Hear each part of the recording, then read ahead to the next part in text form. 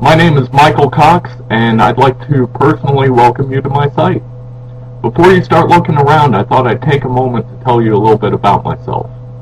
Currently, I have two associate's degrees and am completing my bachelor's in multimedia design and development at DeVry University. I've been working in and around the internet since 1999 in various capacities, and I've completed projects for clients ranging from large corporate accounts to small not-for-profit organizations. You can expect enthusiasm, creativity, and a willingness to try new technologies from my work.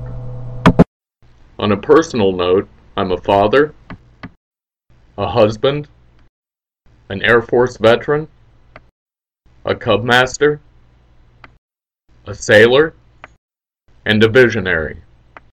Let me bring that vision to you.